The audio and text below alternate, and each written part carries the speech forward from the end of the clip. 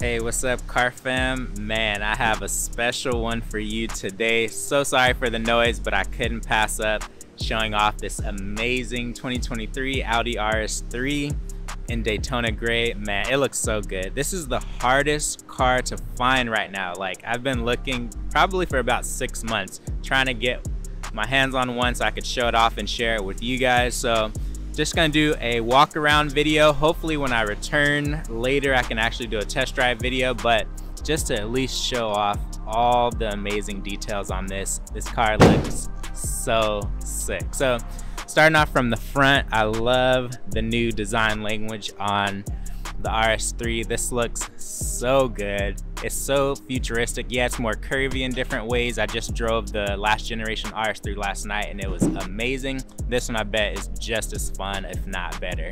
So I love what they did. I think it just looks very futuristic, but also still classic at the same time. And man, this car is so sick.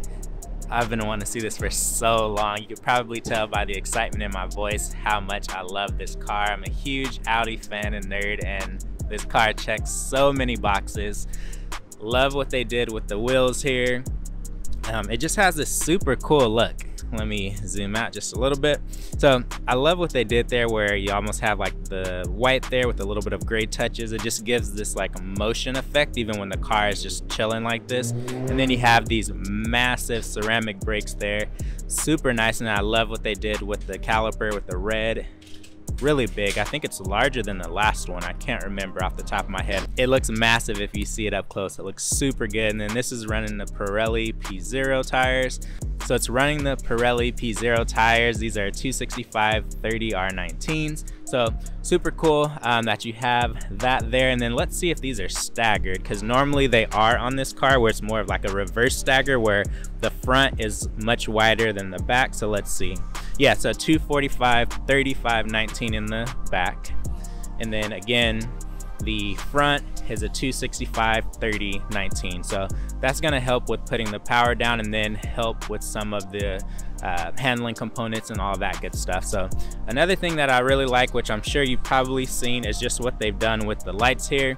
So this here actually lights up with a R S and a 3 here once you like turn it on it has like this animation that kind of pops up so super cool Audi always does an amazing job with their lighting design and all that good stuff. And then my favorite little piece, honestly, on this car is this section here. I thought it would be a little bit wider in person, but it still looks really good. But I love how you have this like wider fender flare with this section here. It just looks so sick. Love this car. Then you got the like uh, piano black basically looking mirror caps. And then this here of course has the black optics package. Wouldn't get a RS3 with that one where everything is blacked out around the trim. And then of course even on the spoiler looks so sick. Absolutely love it. I love what they did with the side skirt too.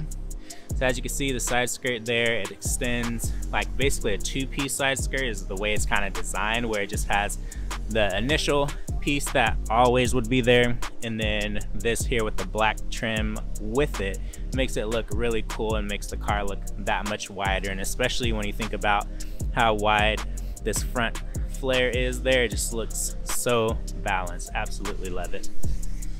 Then the back side I actually like how it looks. I guess the only part that I wish was done a little differently is just this section here even though I don't know how that would look if they just had like the body, you know, the paint there instead of that black piece, it probably would have looked a little bit out of proportion. So it does balance out the look, but overall it still looks incredible. And I have no complaints. I just think it's a little nitpick from a design point.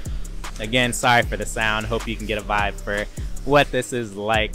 So incredible. Love this color here. And then I love the oversized like oval exhaust there.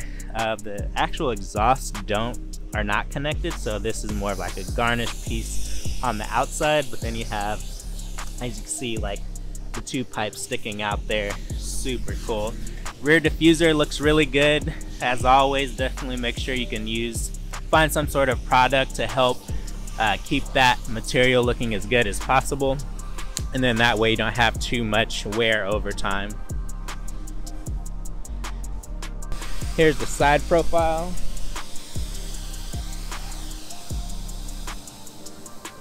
So good. All right, so I just wanted to give you a quick walk around of this car. And then when I return, hopefully it's not sold. It probably will be though, but I hope it's still here in a couple days. Um, and then that way I could show you what it's like on the interior, all that good stuff. And then most importantly, take it for a drive because I'm sure it's incredible. Hope you guys have an awesome day. Make sure you subscribe if you haven't already. Catch you in the next video. Peace.